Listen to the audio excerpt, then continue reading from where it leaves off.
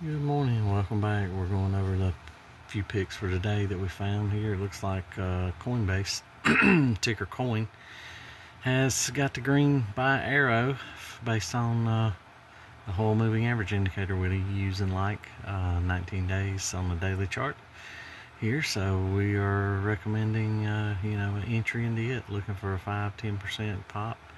It did pretty good yesterday. And of course you know the real entry would have been a day early when it went to the light red which would have been at that price point there. But we're learning as we go. And then also in the heart of crypto MicroStrategy uh, it is it's got the red indicator here. And since Bitcoin hit 100,000 we kind of have a feeling it's going to go up. It's already up pre-market now and it's I think it's going to turn and you're going to get the green buy arrow tomorrow.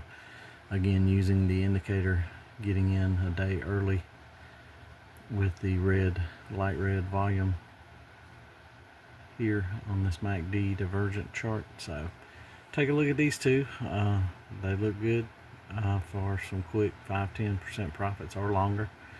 And uh, of course you always want to try to get out when you get your first light green arrow or you get the price line touching the green line on the indicator here i.e. here or uh, right in here would have been a real good one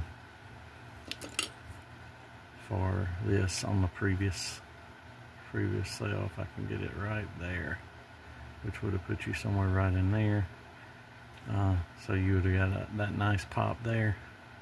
But if you want to hold on all the way up to here, you can. Sometimes it works out. You can get that nice spread between red arrow, green arrow. But it's your choice. Whatever you feel comfortable doing. Like I say, not financial advice. Just wanted to share something I found that seems to work, makes sense for me. It's easy, and it works. So thanks for having a, a stopping by, and have a wonderful day.